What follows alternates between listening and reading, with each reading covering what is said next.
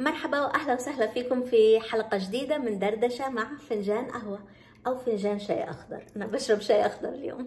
في ناس يا بنات سبحان الله يعني بناخد منهم طاقة مش معقولة. وهم يعني بس مجرد إنهم بس بيشاركونا أشياء بسيطة بيعملوها في اليوم.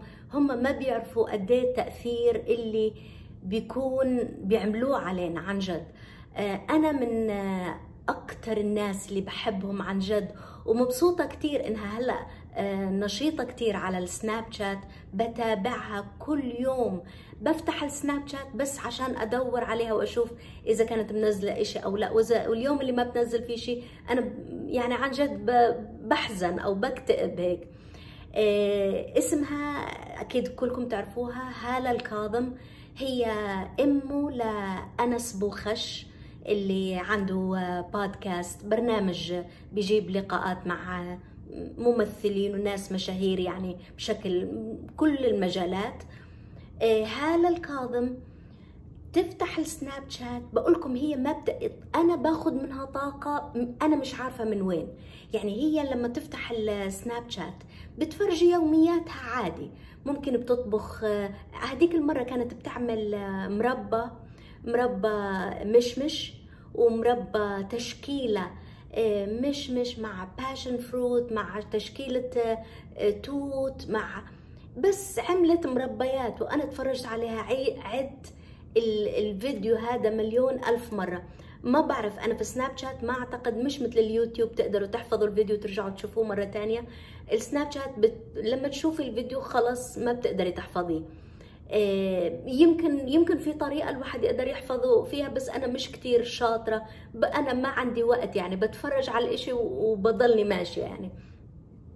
أحيانا بتروح بتكون يعني اليوميات اللي بشاركنا إياها بتاخد الكام الكاميرا وبتطلع بتمشي.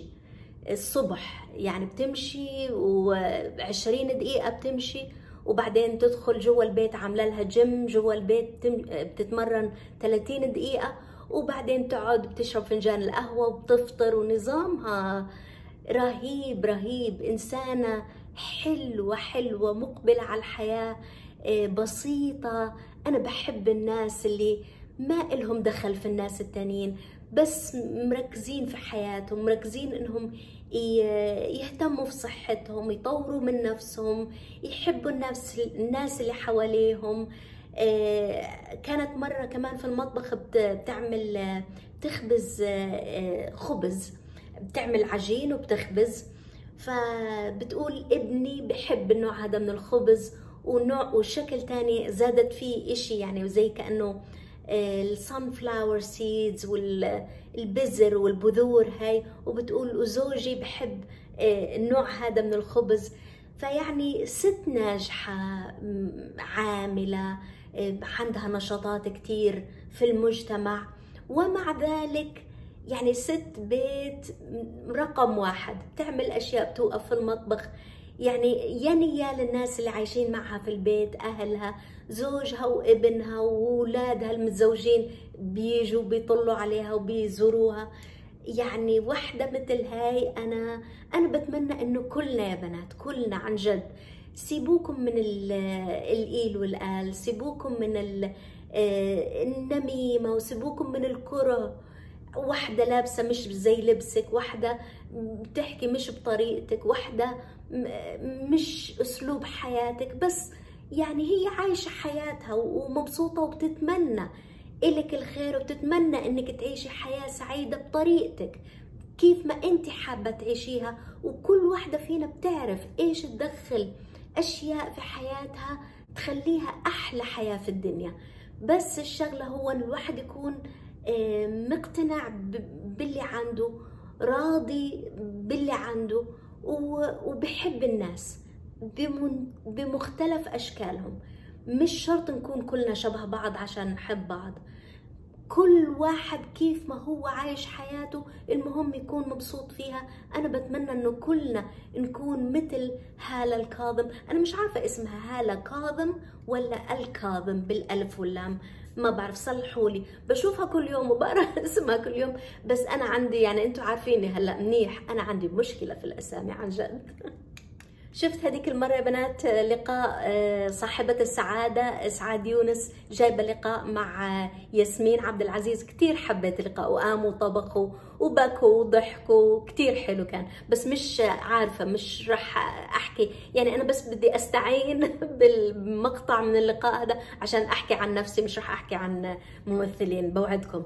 آه، سألتها آه، سعاد يونس سألت ياسمين عبد العزيز عن يعني طلاقها من ما بعرف شو اسمه جوزها بس ممثل مشهور كمان.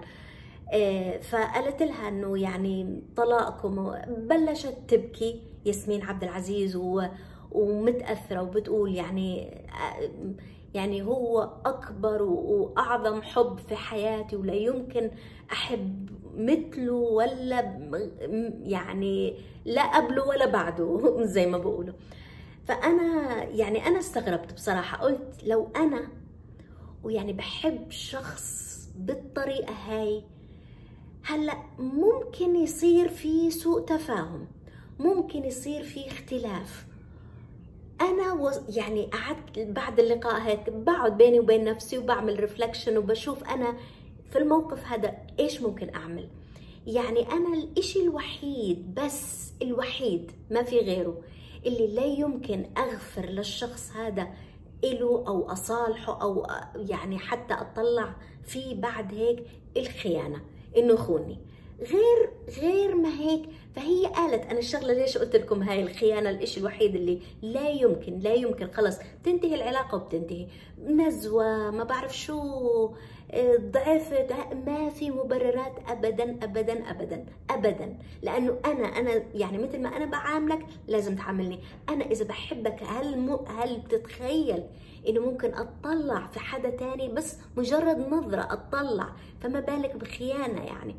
فالشغلة هي قال قالت قالت لسعاد يونس قالت في مشكلة ويعني فقالت لها سعاد يونس ممكن يعني ممكن ندخل ونصلح هيك فقال فوقفتها وقالت لها على فكرة مش خيانة مش خيانة الناس اللي بتطلع إشاعات وبتحكي إنه خانها أو شيء هي وضحت ويعني أصرت إنه الاختلاف اللي بينهم الخلاف اللي صار مش خيانة.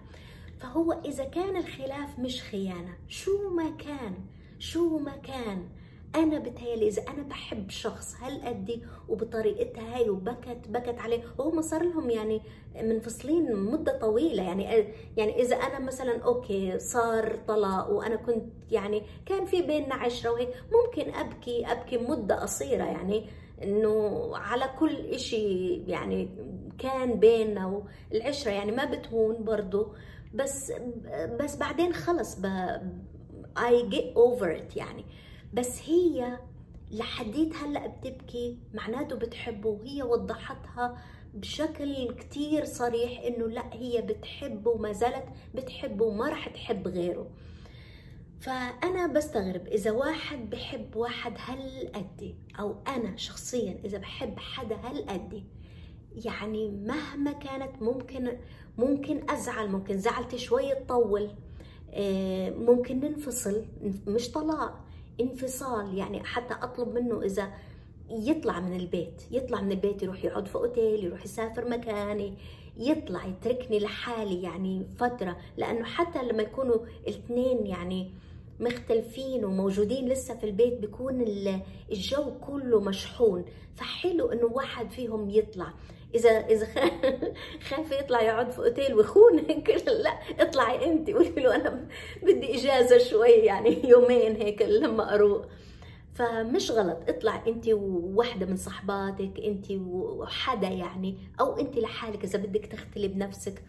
احجزي في الأوتيل يومين ابعدي عن جو البيت وقولي له قولي له أنا محتاجة محتاجة أكون لحالي عشان نرجع نتفاهم ونحكي في الموضوع.